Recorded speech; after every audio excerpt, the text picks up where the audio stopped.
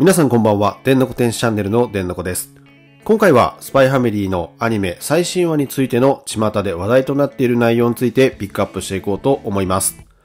実はこの件に関しても私も被害者の一人です。その問題とは放送時間の変更による録画の失敗が全国各地の家庭で勃発し、テレビ東京並び公式のツイッターにもその声が発生しているのが現状です。近年配信サービスの普及によって大きな大問題となることは防がれていたものの、再放送をね、希望する声も放送後からかなり上がっています。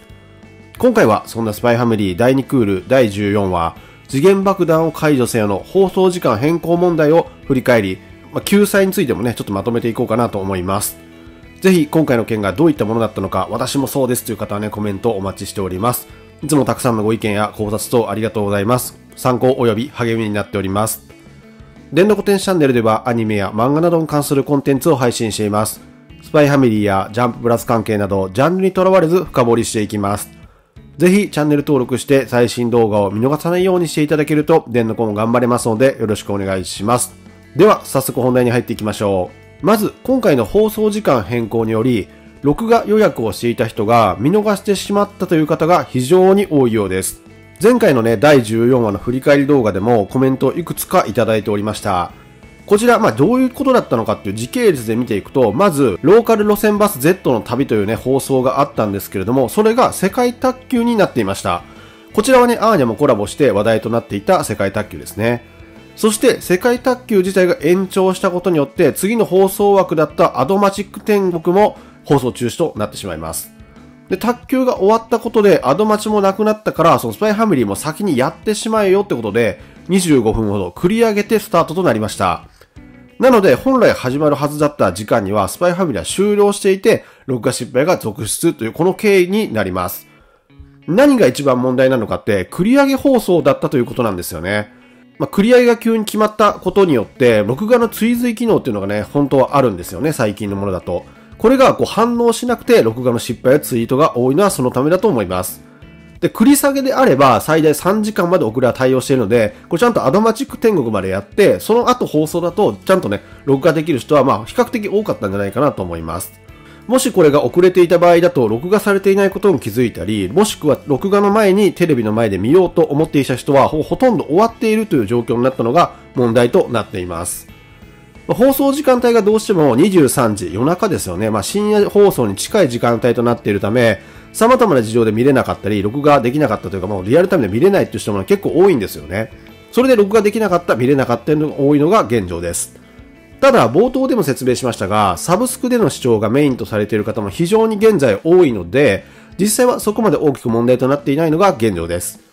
私はね、地上波でスパイファミリーを録画しておいて、その後見逃し配信でもう一回見て、その後動画制作のためにサブスクを使って見ています。で、ここで問題となってくるのが、サブスクは料金が発生することで利用していないというご意見が結構あります。その場合ね、この見逃し配信、私が見ているものなんですけれども、1週間無料となっています。なのでそちらを利用していただければ問題ないと個人的には思っています。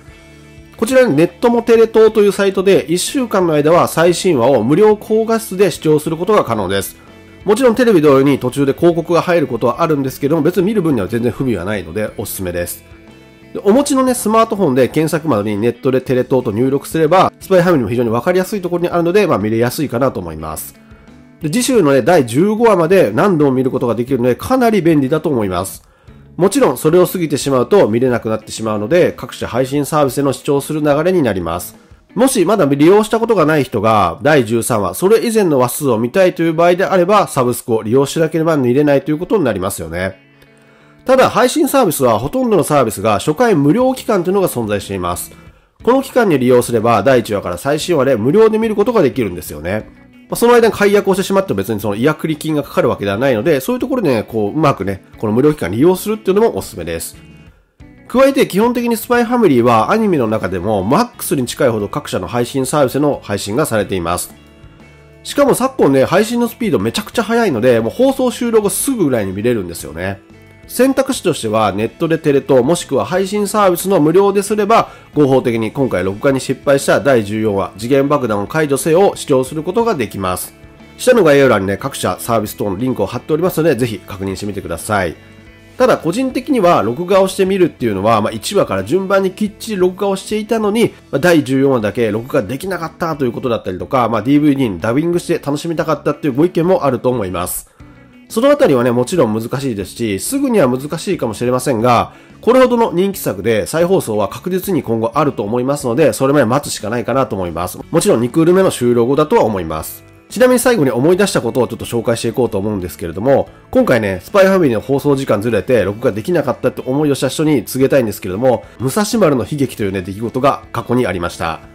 こちらね、過去の名作であるカードキャプター桜の最終回を予約録画していたのに、再生したらね、武蔵丸が出てきたってことで結構ショックを受けたっていうのがあります。当時ね、私もね、あカードキャプター桜めちゃくちゃ好きだったんで見てたんですけども、録画してて見ようと思ったら武蔵丸とか相撲をやってるっていうね、衝撃を受けたのが覚えています。この当時は、ね、ネット配信もなかったので、もうどうしようもなかったんですよね。なので、今回はね、このスパイファミリーに関しては救済できる方法が多いので、まだいいかもしれませんね。まあ、懐かしいですね。ぜひ皆さんのご意見やご感想をお待ちしております。今回は以上になります。でまた見てやってください。さようなら。